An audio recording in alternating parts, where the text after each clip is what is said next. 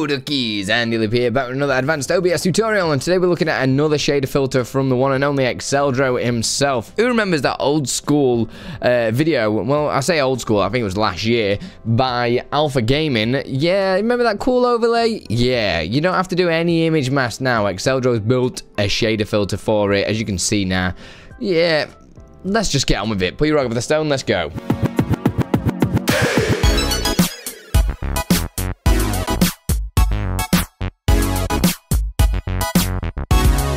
So we're going to need a couple of things to get this up and running. You're going to have to obviously have OBS, which if you're watching this video without OBS, I feel like you've took a wrong turn somewhere on the internet. So uh, get OBS. And we're going to jump to this website just here. All the links are in the description down below, so don't worry about missing anything. We're just going to hit download just there. Uh, and that's going to download a file as you can see just here I've got this OBS shader filter uh, we're going to right click that and extract all and press extract There'll be a couple of files just inside of here. So inside the OBS shader filter, you'll see OBS Studio. Double click into that and you've got data and OBS plugins. We're just going to copy them. And we're going to go to your OBS uh, folder, which mine's in C drive and then in program files and then OBS dash studio. Yours might be in uh, program files 86. It depends. Just jump into there and right click and press paste. Just like so. It's going to ask if you want to replace if you are updating it and you already have it. It's going to ask for all system privileges and everything like that. Just say yes to everything. That's absolutely fine. Once that's done, we can close that down and go to this other link just here, which is on Exeldro's GitHub page. Again, link in the description. Right click anywhere on that page and we're just going to press save as. This uh, this kind of section will come up. We're going to change the, the type to all files and then we're going to remove the .txt at the end. So as you can see just there, alpha gaming bent camera dot shader. There's no .txt at the end, and then we're just going to press save. You can save it anywhere on your computer. I'm just going to use the desktop for this instance. Press save. I already have it, so I'm going to replace it. That's fine. We can close that down and jump to our desktop now. You'll see you've got Alpha Gaming just there. We're going to copy that, or we can cut it. And then we're going to open up your file directory and jump to your OBS Studio folder that we're in. Then we're going to go into Data, OBS Plugins, and there, if you go further down, you should see OBS shader filter.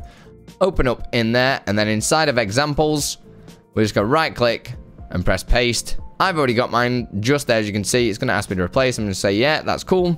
And it'll say needs to continue with privileges and all that jazz. You're like, yeah, man, do it. It's fine. Exeldro won't give you a virus, so trust me. He's a good lad. Right, close that down and we can open up OBS now. If you already had OBS open, you're going to have to restart it after installing the shader filter plugin. You'll know it's working because when you uh, go to one of your sources, for instance, I'm going to be doing it on this video capture. I'm going to right click, go to filters, and when you press the plus on the effect, just there, you should see user defined shader. If you can't see that, it means you've not installed it correctly. So I'm going to click user defined shader. I'm just going to call it uh, Alpha Gaming for now and press OK. Uh, it'll bring up all these little sections just here. We're going to tick this one, load shader text from file. Press browse. And we're going to go, it should automatically open you in that examples folder. That's why I told you to save it in there. It saves you having to navigate around your computer.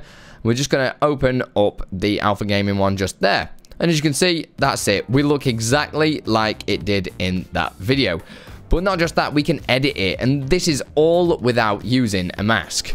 So if I click on the edits just here on the left hand side, we don't need to change any of the extra pixels or anything like that. It's all fine. We don't need to mess about with anything like this. We can use slider inputs if you find that easier to see what you're doing. Yeah, you're more than welcome to do that. So left width, if I start moving this, you can probably see that in fact sliders isn't great for this one. So let's untick that and pretend that never happened. So I'm going to go back uh, to defaults. If you want defaults, you can always press defaults at the bottom just there. As I start ranking this up, you can see as it's moving across. And bending the camera you can change the uh, the size of how much you want it to be. And you can do this on both sides of the plugin as well. So if I uh, I can make it look really stupid if I want. So the shadow depends how dark you want it to be down the back. So if I change this to like 0.4, you can see it's really dark down the bottom now.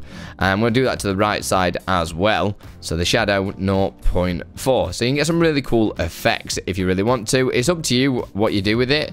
This is probably a really bad example because it looks absolutely atrocious.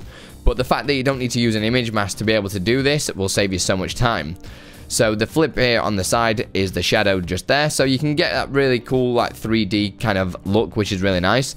But then you can take it one step further if you want. As a bonus tip, if you press the plus sign again, and if you've got the, the shader, we can add some rounded corners, which is my, always my favorite at the moment. Load shader from text file, browse, and right down at the bottom, it's in alphabetical order, so you can go rounded rectangles, crank up the radius, we'll put it on like 50, why not? And it's all rounded the corners as you can see. Uh, border thickness, we can add a border if we want, just like so. Mess about with the alpha uh, and everything like that if we want to. It's completely up to you how we do it. I'm going to go 100 and you can make it all rounded. So you can get some really cool things out of it. So that is just one of the shader filters. Just saves messing about with image masks and it's configurable. So you don't have to change the image masks. And if you want to animate that, you could use the move transition plugin as well to use the move value. And then, yeah, the world is your oyster. Okay, so if you have enjoyed this video, make sure you press that like. Also, comment below what you're going to use this for and anything cool. Share it in the Discord. And if you want to support me, consider becoming a channel member today and also supporting on Patreon. And you will get the videos early over at Patreon. So let me know if you want to join the team. Put your rock over the stone. I'll see you in the next one. I just want to say a huge thanks to all my patrons that help make this content full time, make it free for you guys, and also a huge thanks to all my YouTube members. You you guys are legends. Thank you so much for everything that you do for me and the community. Keep it up, guys.